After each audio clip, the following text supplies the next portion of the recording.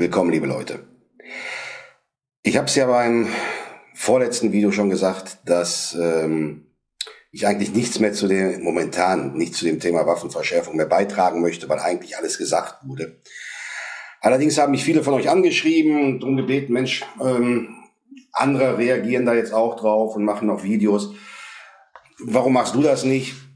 Und ähm, ja, letztendlich ist im Moment alles gesagt, was zu sagen ist zu dem Thema. Aber ich habe dann eben gemerkt, dass der Diskussionsbedarf dann doch da ist und habe mich einfach dazu entschieden, dass ich jetzt zukünftig dann begleitend zu diesem Thema, bis es da mal was Neues gibt, mal versuche für euch die Hintergründe der einzelnen Punkte so ein bisschen ähm, ja zu beleuchten. Dazu gehören dann eben so Themen wie die Schreckschusswaffen allgemein, die ganze Situation um die Schreckschusswaffen. Was hat sich da verändert? Wie war es früher? Wie ist es heute?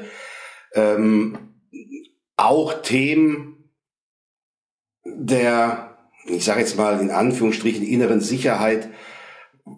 Was hat das jetzt eigentlich mit dem mit der Waffenrechtsverschärfung zu tun? Oder geht das einher miteinander?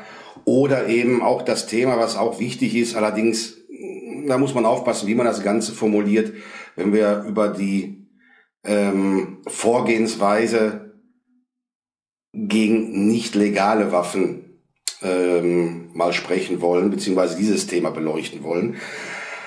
Aber ich glaube, das sind so Punkte, da kann man wirklich mal drüber diskutieren. Da interessiert mich natürlich dann auch eure Meinung zu, weil ich bin da natürlich auch nicht allwissend.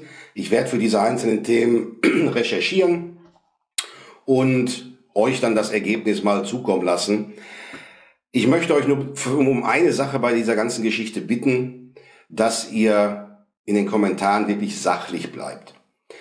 Das ganze Thema ist für uns legale Waffenbesitzer sehr emotional, das kann ich selber nachvollziehen, aber trotzdem achtet bitte darauf, wie ihr eure Kommentare formuliert und dass ihr wirklich sachlich bleibt dabei.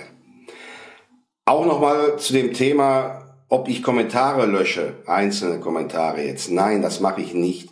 Aber aufgrund der Thematik, die auf diesem Kanal behandelt wird, habe ich den Kommentarmodus in diesem strengen Modus aktiviert. Das heißt, YouTube filtert da automatisch schon Geschichten raus, ohne dass ich die überhaupt zu sehen kriege. Ja, das ist aber auch wichtig, weil wir wollen den Kanal weiter erhalten und es soll ja auch weiterhin Content hier auf dem Kanal hochgeladen werden. Und das funktioniert eben nur, wenn auch ihr als Community euch im Rahmen der Richtlinien bewegt. Und da möchte ich eigentlich nur sicher sein, dass da nichts verrutschen kann. Deswegen achtet bitte drauf, wie ihr das Ganze formuliert.